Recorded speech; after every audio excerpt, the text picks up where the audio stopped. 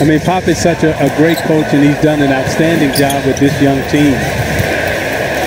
Mason Plumlee in for the first time tonight. Corner three, Morris. They, they got Aldridge going in the first quarter, so this second quarter will be all about getting DeRozan going. Good follow up by not nearly enough. We're going to need more from him.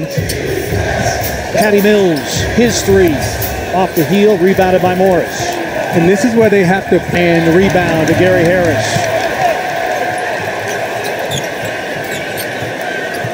Jokic will try for three and put it in. Defensively and get stops. DeRozan. Hurdle couldn't back tap the rebound, picked up by Barton. Harris moments ago picked up his third foul. Foul Bertaldridge misses.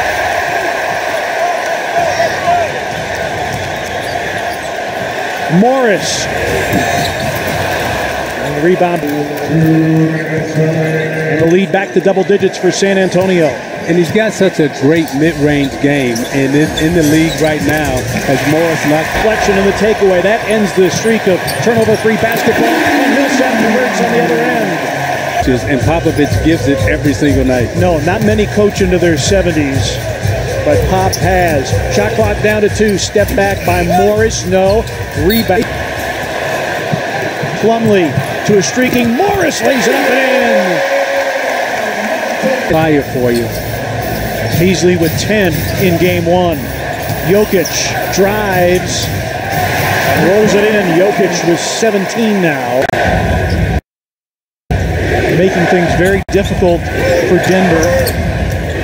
As we talked about earlier, I was going to say how ball secure San Antonio's Jokic against Aldridge, 10 to shoot.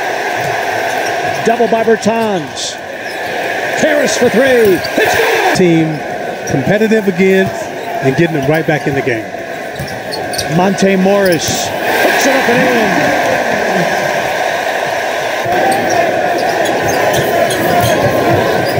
Millsap out of the double team. Extra pass. Beasley for three. Got it. Malik